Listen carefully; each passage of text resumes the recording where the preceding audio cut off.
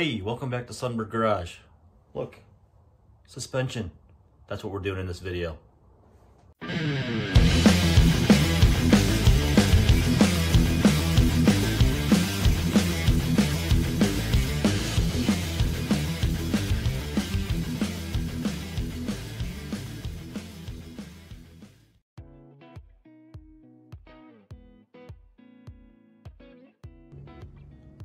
So getting the suspension on one of these cars is not the easiest thing to do, especially with, you know, no motor in the car, so there's no weight in the front end. So, you know, it was a it was a struggle to get this thing on there and I, I was scared a few times here, but we were able to get it together. Um, there's a trick to doing it. A normal spring compressor will not fit up inside that spring and be able to come out of the hole that's in the bottom of the A-arm even with these AJE A-arms that I've got on the car, there still wasn't really enough room to get that spring compressor out of the bottom. So what you have to do is just use the lower half of the spring compressor and a piece of three quarter inch threaded rod. And you, you thread the rod up through the uh, shock hole. And you really, it's really important to use these, these bigger um, threaded rod couplings. I did the other side with just standard three quarter inch nuts and it started stripping the rod out. So I would, if you're gonna do it this way, I would highly recommend getting those, um, those threaded rod couplers. Uh, a lot more surface area there and there was zero issue with those. So once you get that thing together, get the, uh, the, uh, you know what I'm trying to say. Um, lower half of the spring compressor on the spring. You can't put it too close to the bottom because if you put it too close to the bottom, you can't get the darn thing out. It actually pinches between the springs, so you can't get it out. So you have to go about, I think I did the third spring, the third coil to get it uh, into the car and then back out of the, the, the spring. So um, I also had to use a ratchet strap because as you're tightening this, the, the spring in, it actually wants to, you know, swing one way or the other and actually swung out away from the car. So I had to get a ratchet strap and pull it back. Um, but once it was up compressed enough, I was able to get the, uh, the knuckles together and the A-arms connected to the ball joints and, uh, and locked in place. So once I took the spring compressor out, the problem was since these AJE uh, A-arms don't have anything to limit their travel downward, the stock A-arm actually rests on top of this spring pocket here. So it'll only go down so low, it'll rest on that spring pocket. These don't have that. So they'll compress all the way down. And when they compress all the way down, it actually will pinch the spindle against the spring pocket and you won't be able to turn it. It'll just be locked in place. You won't be able to turn the, the wheel at all. Um, and again, that's because there's, there's no weight in the car. So I actually left the threaded rod in my car until I get the, the weight in the car. And I made these little angle iron brackets just to put some uh, some tension on that spring so that I can actually turn the wheels. Well, uh, other wheels on the ground, kind of. There we go. Yeah. But I can I can turn the wheel. Um, actually jack it up a little bit. So I can actually turn this wheel. Well, maybe not one-handed. So it's not pinched in there anymore. So yeah, it's a it's a pain. Um, these are a, this is a PowerStop brake kit, S10 brake kit. Um, comes with the rotor, the uh, caliper, and I think that's it. And pads, it comes with the pads too. Um, I don't have the pads in here. These are still not hooked up to the car because I still have to file a groove into that bracket. The hoses are actually, the notch on the hose is actually over one way or the other, I forget which way. So I gotta file another notch in this bracket for the hose to fit. But again, here's that uh, inline tubes kit. It lines up with that bracket perfectly. So there you go. So I'm a little out of sequence here. I, I did the recap and now I'm gonna kind of walk through the parts and what I did here. So I bought AJE control arms. If I was going to do it over again, I would invest in the Justin Kill Overkill uh, A-arms. They're, I think, a better quality. These were okay, but I think his are better. For the rear, I bought UMI control arms. Uh, I actually bought them in red and then decided on painting the bottom of the car red, so I switched to black. And then I found my springs. I actually went with uh, Moog 6490s. These are, I think, either four cylinder or maybe even V6 springs. Everybody said V8 springs would be too too stiff, so car would sit too high, so I went with the 6490s. Getting the A-arms installed was pretty easy. There was no no challenges there. Slipped them in, used the original bolts, which were CAD plated. The lower bolts are the cam bolts that adjust caster and camber. These are rare parts RP15889. I have that memorized for some reason. But they look pretty good installed here. Here's the spring sitting in the lower A-arm pocket, and it needed to be compressed quite a bit to get it in here. I didn't have the spring insulators anymore, so I used a piece of 5 8 inch heater hose to insulate the spring against the car body. Well, hopefully I can get this thing in there without killing myself. But using the lower half of a spring compressor, piece of threaded rod, uh, inch and three quarter long threaded rod coupling nut, another nut on the bottom is a jam nut, and another one on top, and greased washers. And I've got enough room in here, I think. that I don't have to take off my my booster. So, yeah, wish me luck. Here's one side installed, and remember I said at the beginning, if you don't have tension on that spring, it pins that spindle against the spring pocket, so here's my little angle iron brackets that I used to put some tension on that spring. Well, look at that. I can turn it I can spin it. Got the caliper on.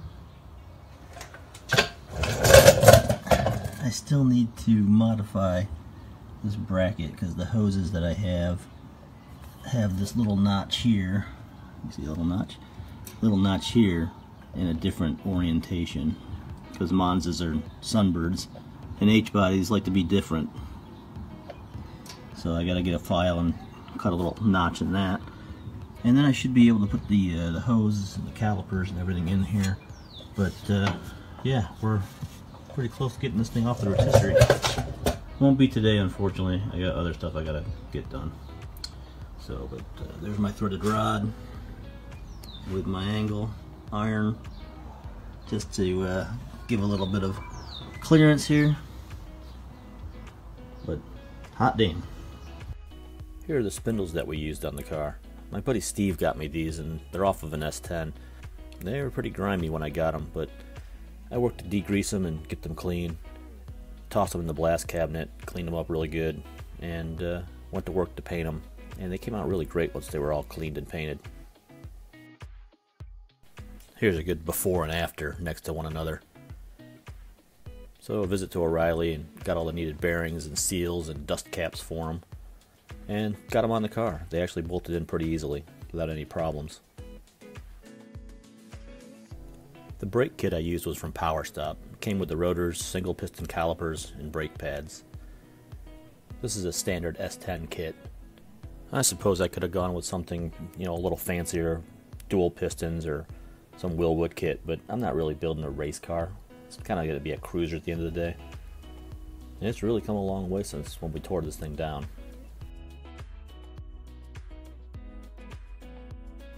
Next up was all the steering components. I was a dummy, tossed out the car's original power steering box, so I bought a rebuilt one off of Rock Auto.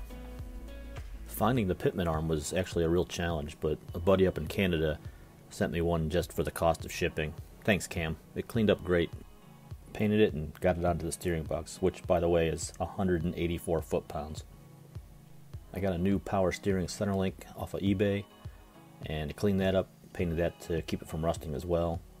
And here's the steering box bolts. Yep, they missed the trip to the CAD plater, so washers made it though.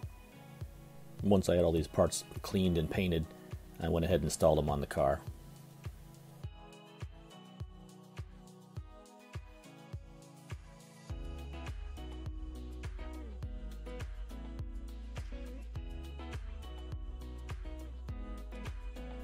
I picked up some Moog tie rods and they got the same cleaning and painting process and they got installed. I tried to use Moog parts for everything that I could, springs, center link, tie rods, anything I could get.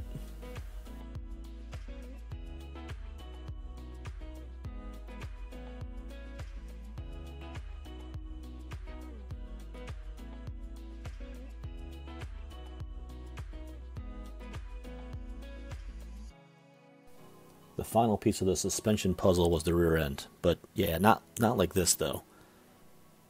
That's better. It was professionally rebuilt by Jim at JD Race in Richfield, Ohio. It got a new posi, uh, 342 gears, 28 spline S10 axles, new brakes. Everything was gone through and rebuilt. And it bolted into the car pretty easily. So here we are under the car with the axle installed. It's actually getting a little dusty under here. I gotta clean under here. Anyway, um, so yeah, I had my axle re rebuilt by uh, Jim over at JD Race. He's in Richfield, Ohio. And he's pretty well known for H-body rear ends. This is the original rear end out of the car. And it's been upgraded with um, 342 posi. And yeah, as a result, I'm gonna have to go with an overdrive transmission. But um, new springs, I forget what they are. They're, Mo they're Moog, M-O-O-G, Moog, but I forget the number. I'll put that down here in the picture somewhere. Um, uh, it's got a standard uh, sway bar on it. And I used the KYB shocks. And I have UMI control arms and a UMI adjustable panhard rod, panhard bar, whatever you want to call it, uh, underneath here. So yeah, this bolted in pretty easy. Uh, the sway bar is rubbing against the brackets right now because the pinion angle is pointing up because there's no torque arm on it yet. So.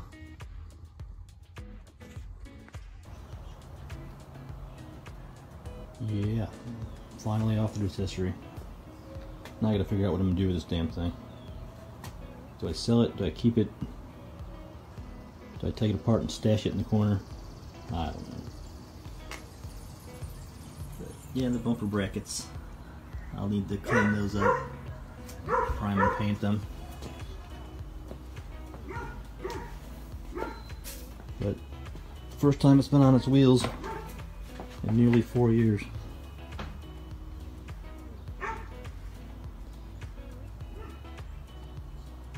Big milestone. Now I just do everything else and start spending a lot of money, I guess. Don't tell the wife. Oh, there she is.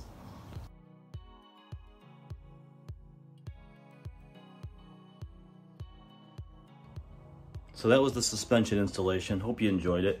It was a lot of work. This video is kind of short, but it was a lot of work and a lot of scary moments to get that suspension on the car, especially the front. The rear wasn't so bad. Um, everything up to this point has really been historical on this car. Um, there hasn't been anything, uh, this is what I'm doing today kind of videos yet. Um, I just wanted to get everybody caught up before I get to that point, I guess. So the next video I'm probably gonna do is gonna be on the tail panel, right there, right, right there. Um, which, uh, thank God, a guy up in uh, Michigan named Doug Basher makes those. Uh, he does a phenomenal job at making them, so thank God he makes those because otherwise, I don't know what you do for the tail of these cars because they all rotted off. Every single tail panel rotted off. But uh, I do actually have an original one, which I think I've shown in videos before, but it's it's in pretty rough shape. And I used it really just as a, a guideline, as a template uh, to get the uh, the tail panel fitted to the car. So that'll be the next video. But pretty soon I'm gonna be out of material and I guess I'll have to actually start working on the car again. So again, thank you to buddy that actually watches these videos. Um, I'm, I'm enjoying it. I'm enjoying doing these videos.